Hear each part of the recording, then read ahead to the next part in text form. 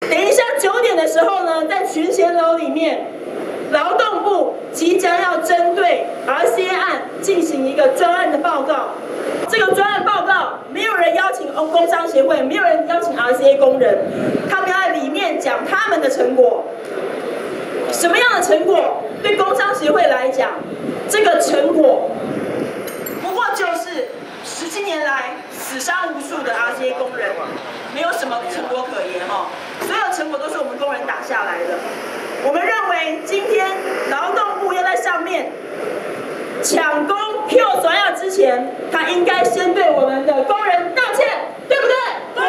来，我们喊个口号啊！劳动部道歉！劳动部道歉！劳动部道歉！劳动部道歉！全面就责！全面就责！全面给付！全面给付！劳动部在昨天的新闻记者的媒呃的报道里面说，他因为看到了判决用概然性的部分，他们也承认了要用所谓的执行职务佐治，就是低于职业灾害、职业病的认定百分之五十以下放宽认定。可是我们要问，他只针对我们这五百多个，我们先不问里面的内容是多或好，我们要问，在这五百多人以外的。这曾经在 RCA 工作这八万多工人，你要怎么解决？所以，我们要求他全面补偿。